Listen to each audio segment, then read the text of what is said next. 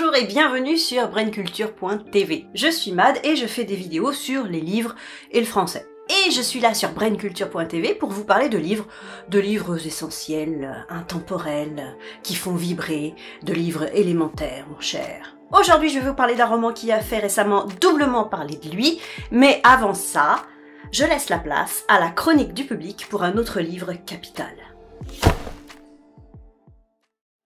Merci Bad. Alors j'avais envie de vous parler d'un bouquin qui n'est pas un roman, qui n'est pas un recueil de poésie de nouvelles, mais qui est euh, un essai.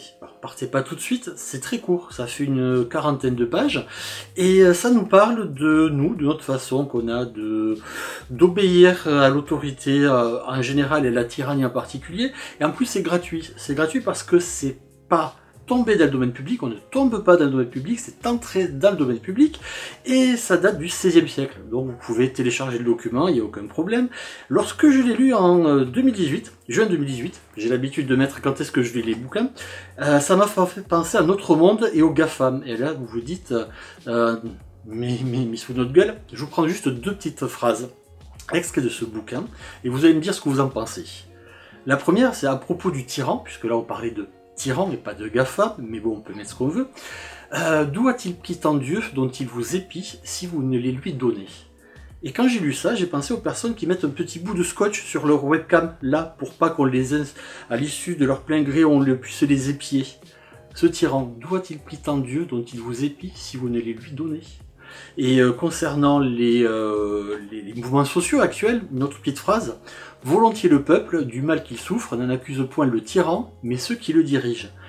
Avant de descendre dans la rue, avec ou sans gilet jaune, on peut se poser cette question-là. Volontiers le peuple, du mal qu'il souffre, n'en accuse point le tyran, mais ceux qui le dirigent, et qui échangent régulièrement. Donc je conclurai en présentant mes excuses à Madame Minet, professeure de philosophie de son état, que j'ai eu la chance d'avoir eu pendant 8 heures par semaine en terminale, et euh, qui nous avait fait découvrir euh, Montaigne.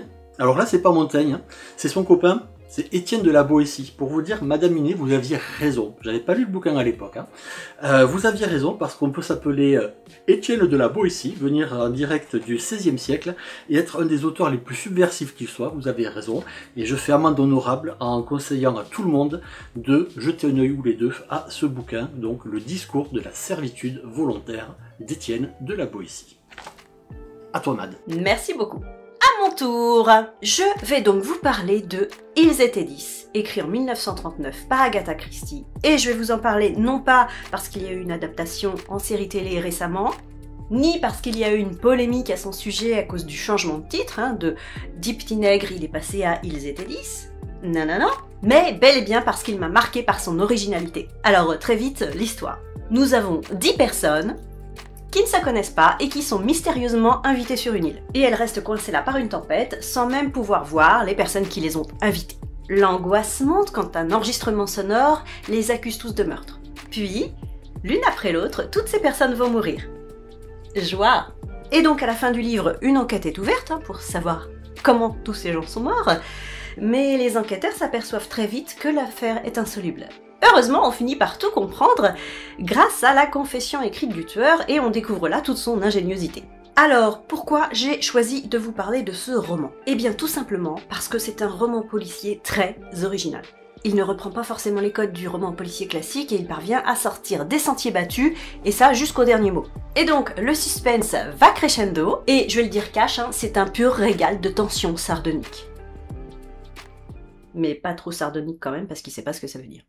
Et dans le même genre, d'Agatha Christie aussi, on a le crime de l'Orient Express, même si dans celui-ci, on retrouve quand même pas mal les codes du roman policier. Voilà, l'émission touche à sa fin, j'espère que ça vous a plu. Si vous voulez participer aussi à la chronique du public pour nous parler de votre livre de chevet, voici le mail que vous retrouverez en description ainsi que le lien. À bientôt